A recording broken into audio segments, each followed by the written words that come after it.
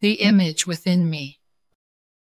Hello, beloved readers. Today, I have an exciting story to share with you. I hope it brings you joy and excitement. Today, Luna have a book named The Image Within Me by William Propsner Short Stories for Kids. I think they're so pretty. I hope you guys really enjoy it. I love it.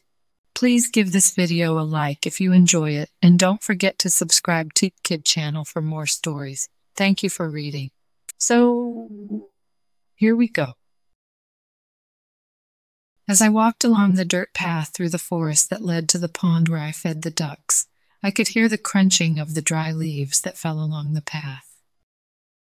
I could see footprints of the squirrel family that would run along the path in search of the pine nuts that would fall on the path.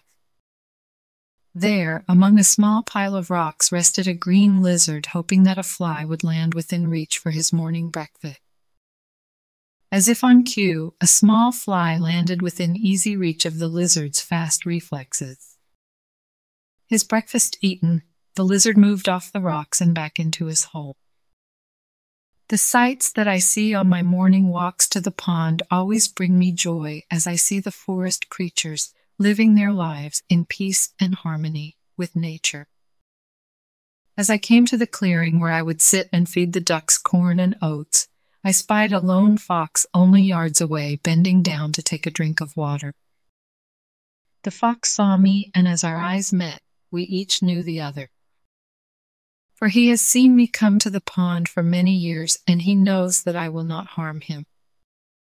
He stared at me for a moment, then continued to drink from the pond. When he finished, he looked over at me and to me. It seemed that he smiled at me before running off into the forest.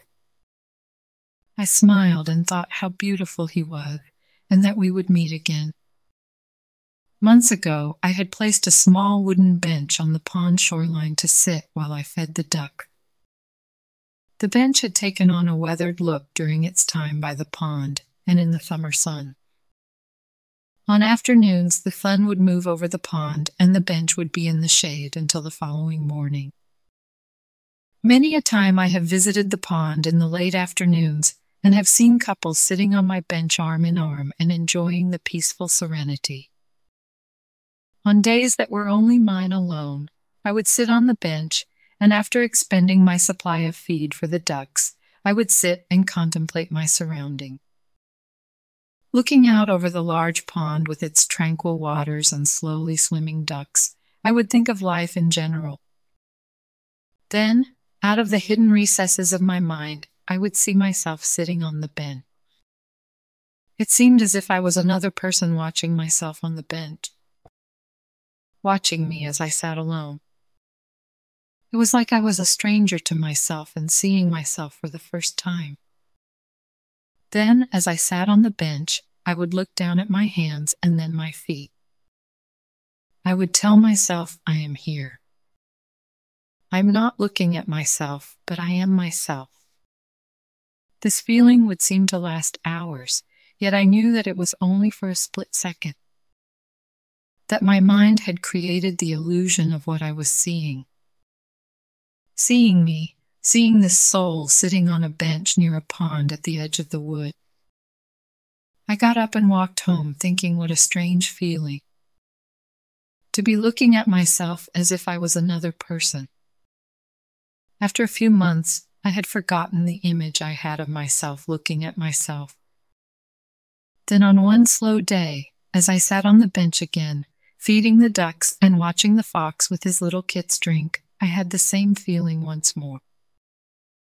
This time, I was inside myself, looking at myself from the inside out. I could see my hands and my feet, and I knew where I was, but I was looking at me from inside my soul. I felt detached from my body, and it felt strangely peaceful. I thought to myself, this must be what it's like to be in heaven, seeing yourself from inside your soul. The feeling was wonderful and pleasant. I could feel my mind relaxing, and I felt that my head was clearer and focused. Later that day, I thought that my personality had changed. I felt different, yet I felt the same. It was like a weight had been lifted from my soul. All my feelings were sharp and clear. I told my friends about my experience and told them that it felt like I was inside my own body, looking at myself from the inside out. A few of my friends laughed at me and called me silly, but I knew. And then some of my friends were totally amazed and even told me that they too had feelings like I had, but not as sharp. After reading and exploring my inner feelings, I knew what I had experienced. My mind was looking at my own spirit and was telling me that all was good in my world and I should not fear anything. I had seen my own soul from the inside out, and now I understood what my purpose in life was to be. I was just to trust the higher being that created me and trust that my own spirit and soul was safe and secure. I saw myself and I knew that I did have a spirit. And it was good. We have reached the end of the story. Good job, friends. Thank you so much for reading with Luna on Tip Kid channel. Bye. I'll see you next time.